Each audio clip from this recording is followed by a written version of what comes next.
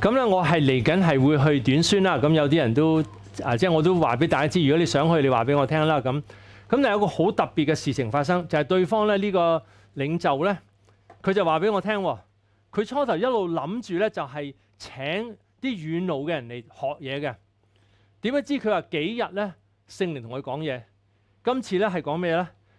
你唔好叫嗰啲人嚟，你自己要學習，你學好先。佢話你要學兩年啊，學呢個啊神屬性講道法，因為咧神我多謝天父啊俾我呢個講道法咧，就係話成日彰顯神嘅榮耀、神嘅愛，成日俾人睇到哇神真係好啦！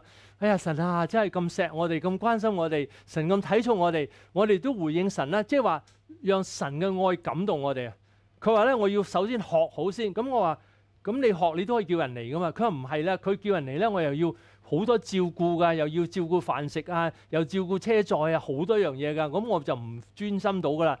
咁我淨係俾本地嘅人嚟。咁我咧就主要我自己學好先。咁咁我好感謝神啦，即係話神啊使用就係神咧同佢講你啊專心學習。